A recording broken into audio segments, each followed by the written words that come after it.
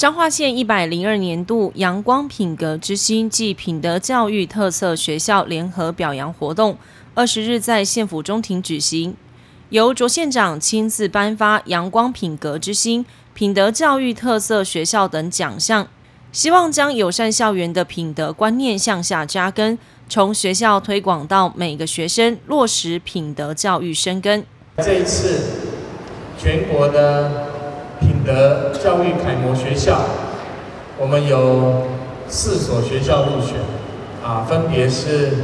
张兴国中，还有中山国小、秀水国小、南雅国小。我们是不是校长站起来，我们给他恭喜一下啊？将来我们的同学会有很漫长的。一段求学的历程，求学历程之后，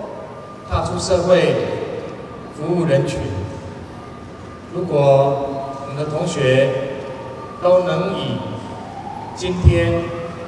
接受表扬，大家的特色，大家受到了肯定，来作为终身奉行的德性，这样子。一定会是一个成功的人生，一定会是一个让人羡慕、尊敬的成就。阳光品格之星为春之星、夏之星、秋之星及冬之星，分别以感恩、孝顺、守法、正义、合作、负责、礼节及信实等八品德项目。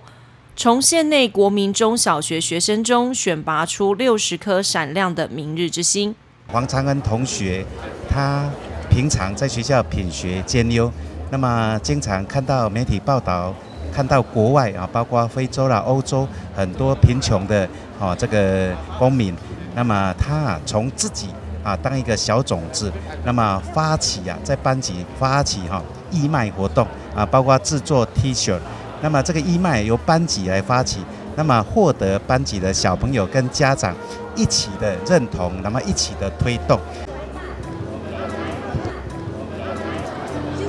我为什么创建这件蚂蚁 T 恤呢？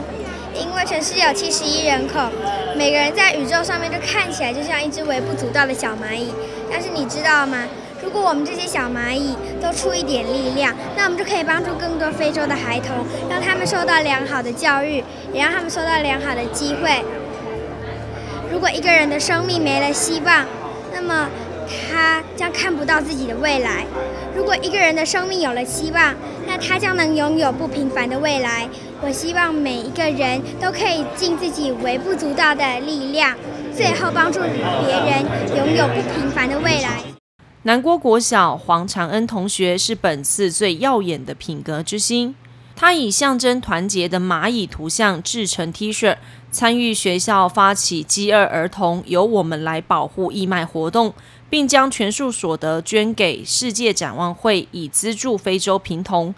其善举值得特别嘉许与赞扬。期盼透过阳光品格之星表扬活动，在各校持续推动与发酵。有效形塑正向校园氛围，重建良善校园伦理，营造彰化县成为优质且具高尚品格的好城市。公益频道林俊明彰化采访报道。